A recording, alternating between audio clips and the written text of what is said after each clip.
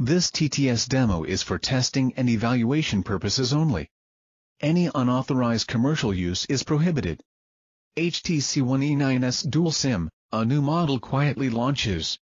Here's to change, HTC's motto, which the company took to heart. Small, continuous change and re-release of every model. This week it's the HTC One E9s Dual SIM was put up on the HTC India website without any official announcement. Not so much a variant of the One E9, let alone a premium upgrade as the S suggests, this is more of a Desire 820 refresh. A 5.5 inches 720p screen, the base E9 is a 1080p, thicker and heavier, but with a smaller battery than the E9, slower chipset too. Comparing the HTC One E9s dual SIM to the Desire 820 is slightly more favorable, but even then it's not a clear win against the late 2014 model.